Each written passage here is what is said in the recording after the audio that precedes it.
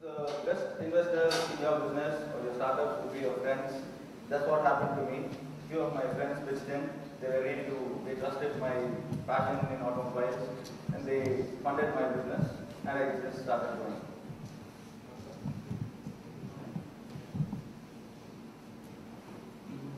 So as I told you, when you're starting your journey towards or you're contemplating on entrepreneurship, it's very important that you have a trigger event. It's not that it will be a very smooth transition. Some event occurs that makes you to plunge into entrepreneurship. That's what happened in my case at least. There wasn't a particular incident or anything that happened, but it was an extremely sudden transition and I myself wasn't prepared for it. But then there was no looking back. Once I had decided that this is what I wanted to do, I didn't want to get back into the you know, corporate world again.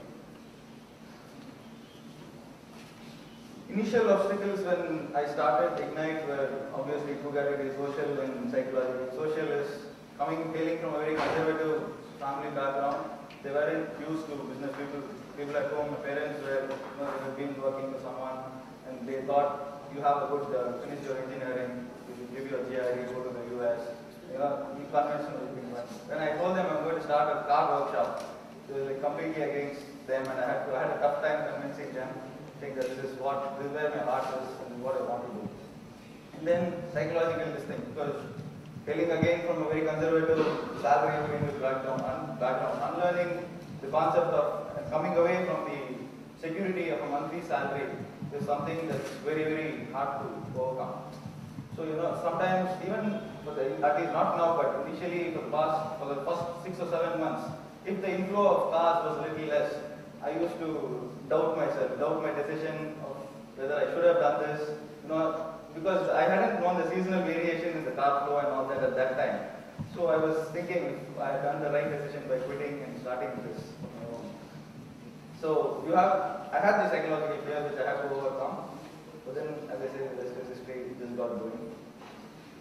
Then, looking back at uh, Oh, how Ignite has been, I think I've had a dream run so far. It's been extremely good.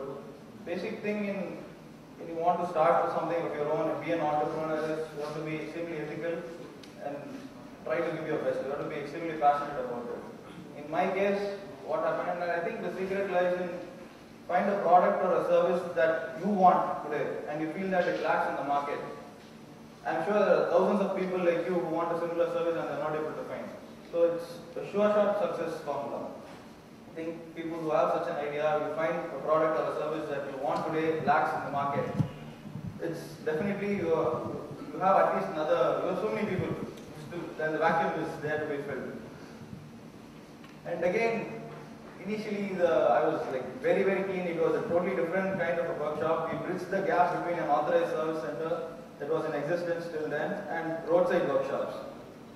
The main thing was people could call me, they had a person to talk to with regard to that, which was not just a job card, you know, tell all these issues are there in my car, please address it for me. It wasn't a kind of place, it wasn't a place like that. So people could come meet me, explain the problem, I would do a road test and then understand. And we took only five or six cars initially per day. It still remains that way. The capacity has been increased to 10 cars a day. We don't take more cars than that. But in the bargain, in the, my quest to give the best service and the personal attention, a few of the you know, industry standards or the industry practices were neglected. Like there was a scenario, there was a case where uh, I don't usually, I didn't, I never used to fill job cards. I just used to remember them or write down on a piece of paper. There was no formal job card, and we never used to make a note of the scratches on the car, what was inside the vehicle, whether the stepney was there, the wheel spanner, jack was there. These things were never you know, followed. And once what happened, there was this, there was a particular client who just gave his car, for, it was a Honda Civic, he just gave his car for service, and then he said, I want it after four days. He never bothered to check the thing, and then after four days, the driver comes and says, and we found about 15 hard disks, six laptops inside, after four days, the, client, the driver comes and says he wants to take the car, and he didn't tell us what to do, the car was like in the workshop. Apparently, there was income tax paid in the uh, in his owner's place. And that's where the car had ended up in my workshop for four days. So I understood that, you know, these are mistakes that I was making. I was making. Regard there are job card has to be filled and certain things have to be done. And that's the reason it is there. These processes are there. So don't be over ambitious. try to give your best service, but at the same time, I think it's very important that we learn from what the established norms of the industry are.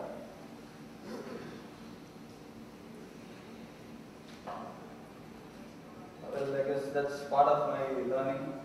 Continuing the entrepreneurship journey, like now, another, as uh, I told you, I'm putting together Team Ignite in place. It will, represent, you know, Team Ignite will have uh, vehicles, engines, and vehicles design compete in, uh, we'll have a team of our own compete in international motorsports events. And uh, I'm very active in the off-road community, which is growing big time in India. So, and again, the dilemma that uh, I face today is if I have to expand Ignite as a franchise-based model or multiple branches, the personal attention and the, the care that I give to my clients would be lost. And that is the main USP of Ignite. And I'm finding it a little difficult to find, to get people to, you know, replace me, take up, so that I can move on to other arenas or take other branches, start other branches. So that's the uh, difficulty or the dilemma that I'm facing right now. Continuing on, I think today in India, as, uh, I was there at the TED talk that uh, was giving in Mysore. It was a very extremely inspiring speech, and there's so much for in it to, for us to learn from it. Uh, I think there's so many sectors in India today, so many businesses, you know, that are disorganized, and all that we need to do as an entrepreneur is if you are able to organize that particular segment, like in Chennai we have this Pronto. It's only a, a cobbler shop, but then it's a franchisee based thing where you can give your shoe or your your bag and they repair it and give it in about six or seven hours. So it was never, and they fill out the proper receipt and all that and they give it to you. Similarly, there's another person who started a car wash. You know, people come home, wash the car, vacuum it inside, polish it and give it to you. This again was un, totally unorganized sector. So if we can, there are so many business opportunities there. We can just look into that and uh, I think there's a lot of money to be made.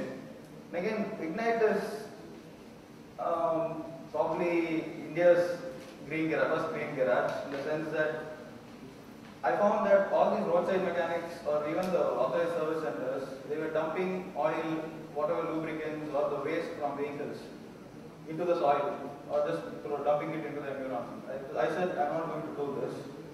And I don't think we have to, you know, endorse the environment or support it for the sake of supporting it. There is also commercial benefit to be got.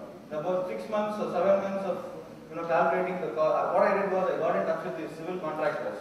So they have this process called uh, centering, in which before putting the concrete, they have these iron grids onto which the concrete is laid. And after that, they find it difficult to remove, and then wooden planks are placed for it to get seated. So they find it difficult to remove these wooden planks after the concrete sets in. So they apply used engine oil. So this was a huge market for me, and they were they didn't have a source to get oil from. So they were using either uh, oil drained from autos or their personal vehicles and all that. So I got in touch with a few of these civil contractors and started it.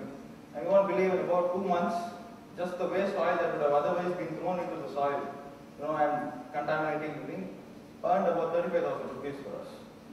So I think it makes a lot of sense to go green. And again, when each of the cars that come into my workshop, we tune it for maximum efficiency. Because as you know, best combustion is got when the products of uh, combustion are water and CO2 if you know combustion is clean. The engine is at its optimum efficiency. Only when it is not, it uh, emits harmful pollutants. So I think it makes a lot of sense for you to endorse green practices in your business. It is also commercially viable. It's not that you go out of the way to do something. It's a one-time process that you follow. So I think it's very important that any business we start with, uh, we have the environment in our mind and go for it. Organized as a